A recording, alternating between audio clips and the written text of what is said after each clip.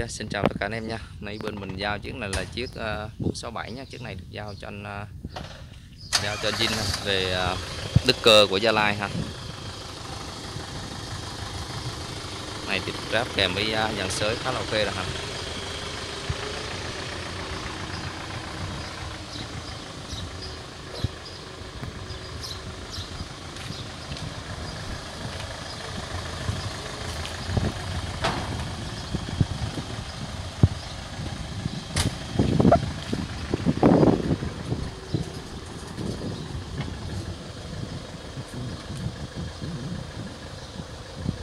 Này à, bắt đầu lên xe anh em ha về Vĩnh Vinh đi nha.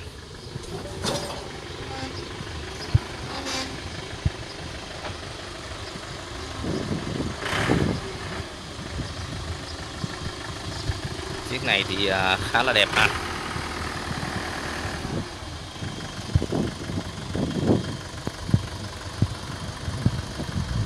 Anh Vinh thì anh chờ bên mình cũng à, khá là lâu rồi ha.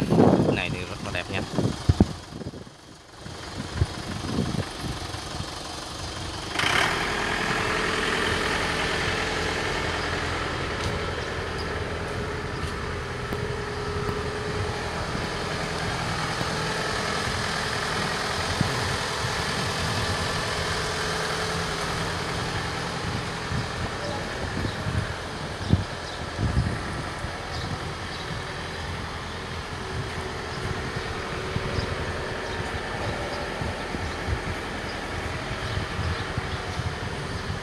Ok, một lần nữa máy cày Vinh Quang gửi lời cảm ơn đến tất cả anh em gần xa ha. Em nào có nhu cầu về những máy này thì xin lòng liên hệ với bên mình nha. Chiếc này là 467 về bên Vinh của bên Đức Cơ ha.